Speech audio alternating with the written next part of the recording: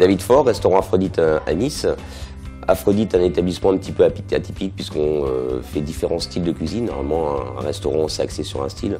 Euh, de ce fait, on peut trouver, quand on vient déjeuner ou dîner à Aphrodite, de la cuisine classique, du traditionnel revisité, ce qu'on appelle la cuisine techno-émotionnelle, qui était la cuisine euh, moléculaire. Donc on met axé sur, sur ce qui est nouvelles techniques, nouveaux produits.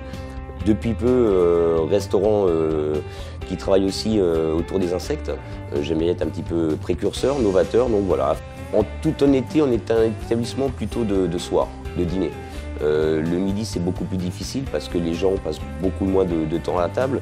Et un jour, je suis tombé euh, sur, euh, sur Groupon et je me suis dit, tiens, pourquoi pas réfléchir à quelque chose pour essayer de dynamiser le midi. Parce que c'était ça le but, c'était de travailler plus le midi pour, pour équilibrer le chiffre d'affaires. C'était un outil de communication et puis pour me faire connaître auprès d'une nouvelle clientèle qui ne me connaissait pas.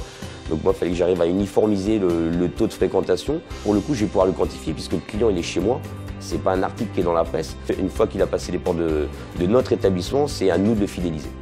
C'est la deuxième fois qu'on travaille donc avec le groupe On avait travaillé au, tout départ où ça avait été euh, une bonne expérience, mais bon avec des, points mitigés parce que, euh, parce que nous on s'était peut-être mal pris aussi. Je pense qu'il y a des choses qui se doivent d'être bien réfléchies pour, pour être efficaces. On ne fait pas les choses pour les faire. J'ai été recontacté par, euh, par Caroline, la, commerciale, et puis ça s'est relativement très très bien vendu, je pense que ce soit pour nous ou pour Groupon, c'est une, belle histoire. Beaucoup d'améliorations chez Groupon. En termes d'outils de travail, Internet, pour les réservations, pour tout un tas de réglages, une commerciale très très disponible. Et alors ça arrivait même qu'on ait des réponses de sa part à nos emails à 1h du matin, chose qui m'a fait halluciner. Et donc du coup ça nous a fait un gros coup de pub. Pas forcément des, gens qui sont venus, mais du fait de nous avoir vus sur Groupon, dit tiens c'est intéressant, ils ont été sur notre site. Et on a fait aussi de la clientèle à côté qui ne venait pas du tout avec l'offre, mais qui nous ont vus et connus par Groupon. Donc c'était vraiment en dehors de l'offre une très très belle visibilité. Moi, l'image qui a été générée par l'opération Groupon, on s'est dit, euh, mais qu'est-ce que David Ford, qu'est-ce qu'un étoilé Michelin va faire une offre sur Groupon? C'est euh, quelque part dénigrer un petit peu son image en tant que restaurant gastronomique et faire euh, une offre promotionnelle comme ça. Je suis pas d'accord. C'est, euh, je veux dire, ça reste un outil de marketing. Il faut vivre avec son temps. Il faut vivre euh, avec les, choses qui, évoluent, qui se construisent. outil marketing, outil internet pour gérer les réservations.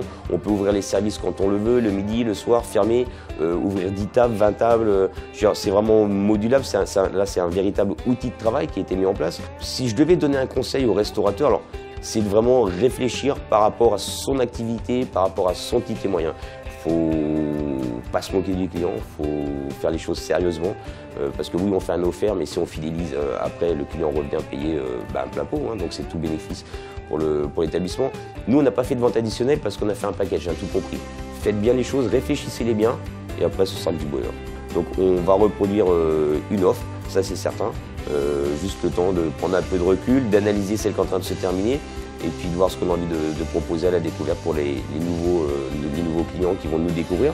Et puis en mot de la fin, bah, j'irai euh, rester groupé avec groupe.